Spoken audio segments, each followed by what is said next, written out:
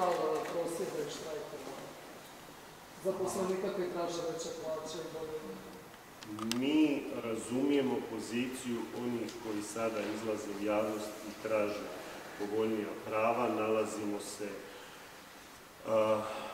u godini prije parlamentarnih izbora i jasan nam je stav da svi žele sada do izbora ugovoriti povoljnija prava.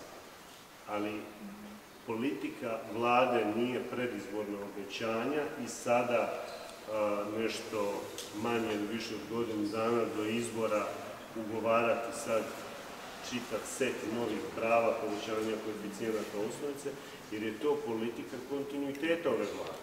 Mi svima želimo jasno dati do znanja da ovih 33% povećanja osnovice nije palo s neba, nego da je to rezultat spremnosti vlade da izađe u susret ne sindikatima, ne reprezentativnim sindikatima, nego svih našim e, službenicima u državnim javnim službama.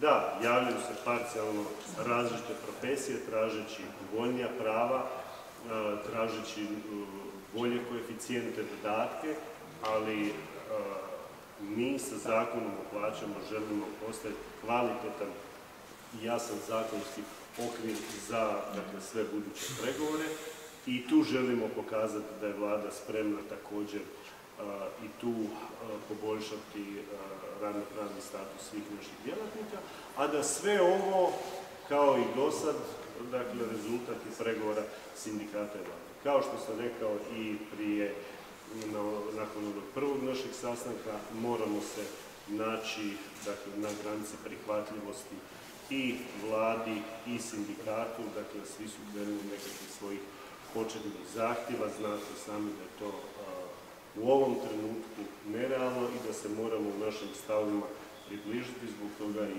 postoji čitav niz dakle, pregovaračkih sastanaka i procesa.